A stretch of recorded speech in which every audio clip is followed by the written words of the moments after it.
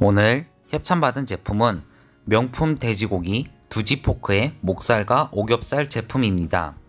정말 독특한 점은 두지포크는 가정에서 선물하기도 좋은 구성이 되어 있고요. 선물 세트 특가 행사는 1월 한 달 동안 진행을 한다고 합니다. 선물 세트의 패키지 디자인은 정말 고급스럽고 정말 좋은 것 같습니다.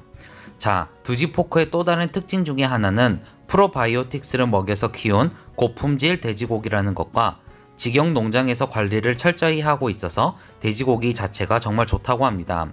선물 세트의 구성으로 제품을 보면 포장 패키지가 조리하기 편하게 포장되어 있어서 정말 편리하다는 생각이 많이 들었고요.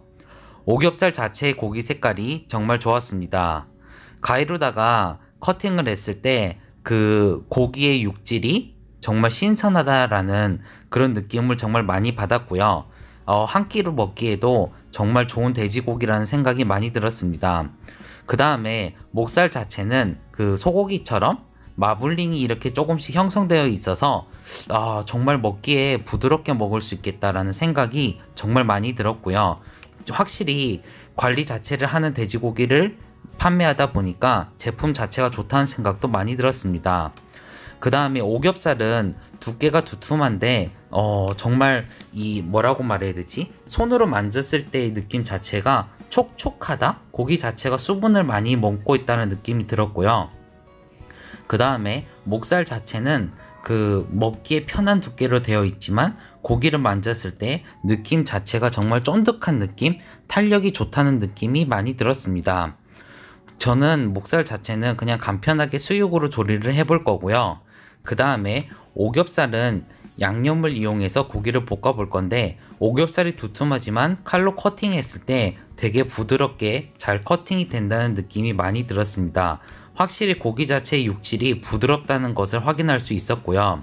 오겹살에는 뭐 마늘 그리고 설탕, 간장, 양념, 야채 등을 넣고 그냥 간편하게 볶아 보려고 합니다. 그렇게 하면 요리 자체는 그냥 간편하게 만들 수 있고요. 그 고기를 구울 때 그 냄새 자체가 정말 고소한 향이 많이 나서 너무 좋았습니다. 자, 이 고기 자체의 육질 자체가 정말 좋다는 느낌도 많이 받았고요. 자, 이제 본격적으로 먹어보면 그 고기 자체의 육질이 정말 부드럽고 쫀득쫀득합니다. 그 식감 자체가 입안에서 은은하게 올라오는 맛있는 돼지고기의 향? 정말 이런 맛이라면 한 번쯤이 아니라 자주 구매해서 먹고 싶다는 생각이 들 정도였습니다. 제일 인상 깊었던 부분은 돼지고기라고 생각을 하면 가끔씩 고기를 잘못 구매했을 때 나는 그 돼지고기 특유의 누린내? 그런 냄새가 하나도 나지 않아서 너무나도 좋았고요. 부드러운 맛에 쫀득한 그 식감이 느껴지는데 이 맛은 정말 명품 돼지구나 라는 생각이 많이 들었습니다. 프로바이오틱스로 키운 고품질 돼지라서 그런지 육즙 자체도 입안에서 퍼질 때 풍부하게 들었고요. 오겹살의 특 껍질 부분은 특히나 쫄깃하고 고소한 맛이 정말 최고였던 것 같습니다. 엄선하고 철저하게 관리해서 판매하는 두지포크의 돼지고기는 1월달 한 달은 선물 세트 특가 행사를 진행한다고 합니다.